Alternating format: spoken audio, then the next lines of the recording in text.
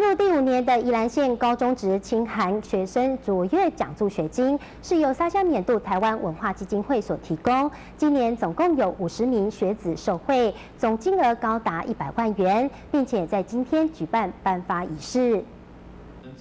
为了鼓励家境清寒、成绩优良的学生，要不畏逆境努力求学，沙加缅度台湾文化基金会特别提供宜兰子弟清寒卓越奖助学金。今年总共有五十位学子受惠，包含三十名大一的学生，还有五名升大二的学生，以及十五名偏乡学生。总共今年颁奖五十名学生。那总总金额啊，啊是台币一百万元。在这个高中职升大一的啊，我们总共收到五十八件申请。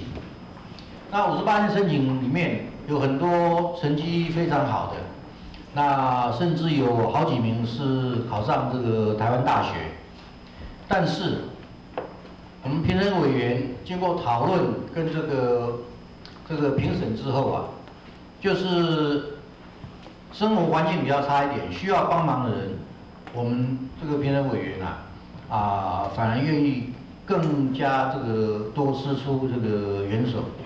县长林聪贤希望受奖的同学能够抱着感恩的心，将来有成就的时候要懂得回馈社会。